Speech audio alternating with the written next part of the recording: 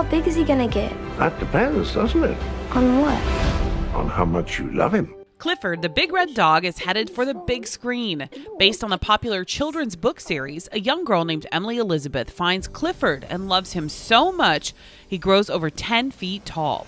Darby Camp plays Emily and says she was a fan of the books and couldn't wait to play this role. Were you familiar at all with the books when you took the role? I was very familiar with Clifford and obviously knew who he was and loved Emily and Clifford and especially the cartoon series and knowing that I would have the pleasure of playing Emily Elizabeth really was like I was like speechless when I first found out. I was so honored and and so grateful that they chose me to bring this character to life. The film has a huge comedic cast as well, including John Cleese, Tony Hale, David Alan Grier, Kenan Thompson, and Jack Whitehall as Emily's impulsive Uncle Casey. And did you see any similarities in yourself and Casey?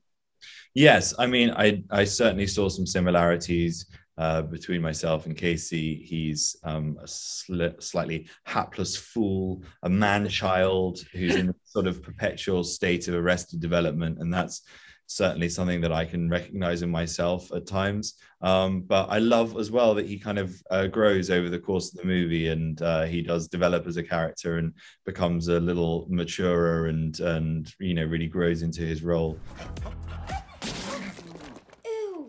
Ew, bless you. A big red dog walking around NYC catches the attention of a genetics company who wants to supersize animals. Tony Hale plays the scientist determined to catch Clifford. Is he Sure. bad or is he just misunderstood? Thank you. Thank you. Thank you for saying that, Heather. He has had a lot of trauma in his life, A lot of trauma. um, as, as we all have. You know, he's spiraling out. His life is unraveling. He put a lot of money into this company, and his employers are making like two headed sheep. And he's like, I don't know where this is coming from. And then he sees Clifford, and it's his one chance to bring his money back. So it's fun to kind of play that spiral. I'm just gonna write heavy. The story doesn't just focus on Clifford's size, it also tackles tough issues kids are facing today.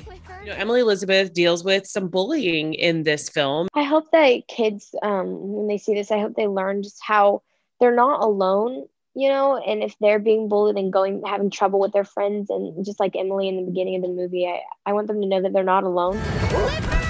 You can watch this positively sweet story when it comes to the big screen on November 10th.